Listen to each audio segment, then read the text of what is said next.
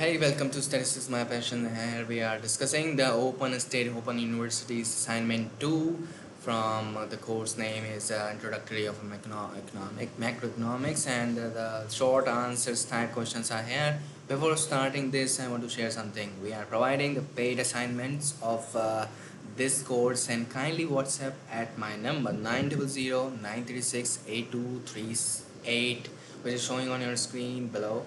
So the questions are the short answer type questions. So what is the mean by the standard or deferred payment and give an example and second one is what is the suppressed inflation. Third one in case of Phillips curve what do horizontal and vertical axis represent.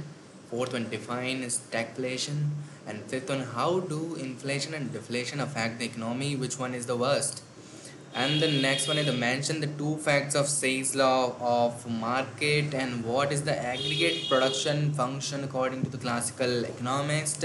What is mean by marginal efficiency of capital? What is investment multiplier? And explain the employment multiplier as introductory by R.F. Khan.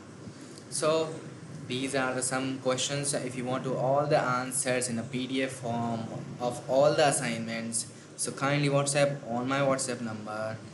Thank you so much for watching this video